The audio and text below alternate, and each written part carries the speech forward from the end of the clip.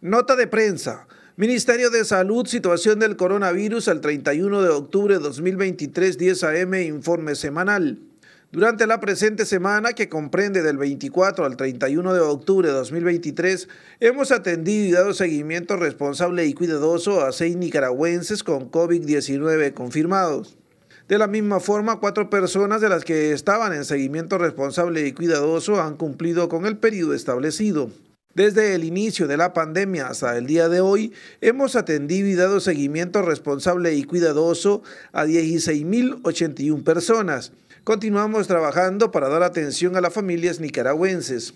Las personas que han estado en seguimiento responsable y cuidadoso por COVID-19 con frecuencia han tenido padecimientos asociados como hipertensión arterial, diabetes mellitus, obesidad, enfermedades cardíacas, síndrome de inmunodeficiencia, insuficiencia renal crónica, antecedentes de accidentes cerebrovasculares, tuberculosis pulmonar y enfermedades pulmonares crónicas.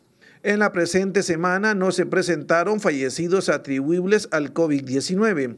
Hasta la fecha hemos logrado la recuperación de 15.830 nicaragüenses. Seguimos trabajando en la prevención y la atención de las personas en el nombre de Dios.